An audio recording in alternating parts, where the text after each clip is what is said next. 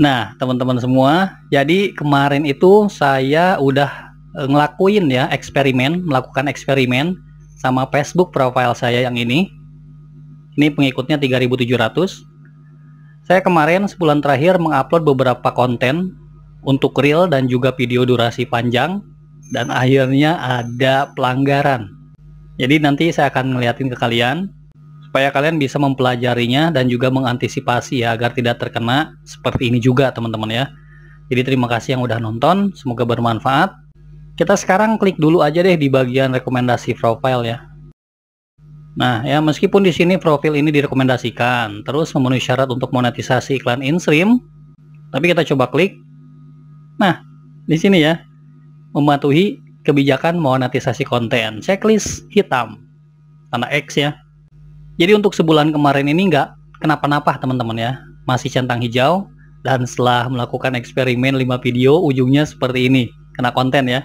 Sekarang kita buka dulu untuk kotak masuk dukungannya. Nah, di bagian sini ya peringatan Anda. Di sini ada 4 video, satu untuk video durasi panjang dan tiga untuk konten real ya. Di bawah 60 detik. Kita coba lihat salah satu video. Nah, yang ini teman-teman ya.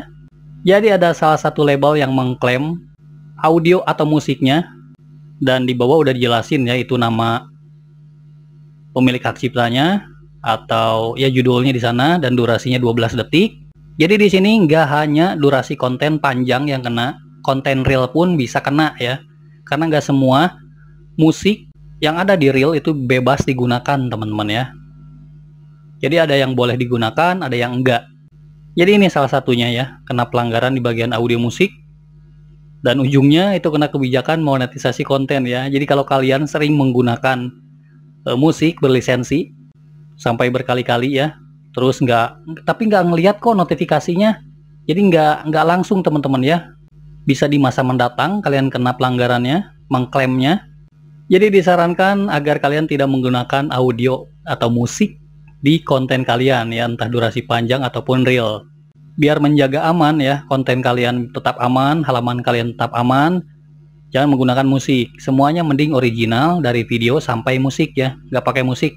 Dan ini saya akan pasti langsung ha hapus kok ya pasti akan hapus karena ini ya sebagai eksperimen aja. Apakah dengan mengupload konten berlisensi musik itu bisa kena pelanggaran kebijakan monetisasi konten? Tuh saya sampai belepotan.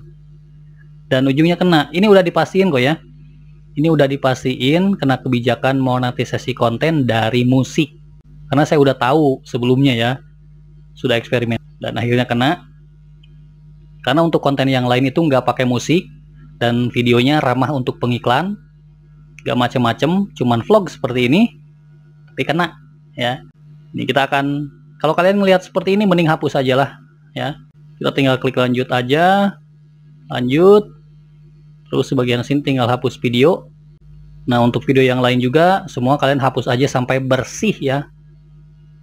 Sampai di bagian peringatan anda bersih seperti ini teman-teman. Semoga menjadi pelajaran agar kalian tidak terkena pelanggaran seperti ini. Jadi di sini saya udah hapus semua kontennya dan mungkin saya akan upload lagi nanti setelah melakukan perubahan sama konten ini.